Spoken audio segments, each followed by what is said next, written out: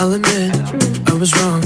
What else can I say, girl? Can't you blame my head and not my heart? I was drunk, I was gone. I don't make it right, but I promise there were no feelings involved. No.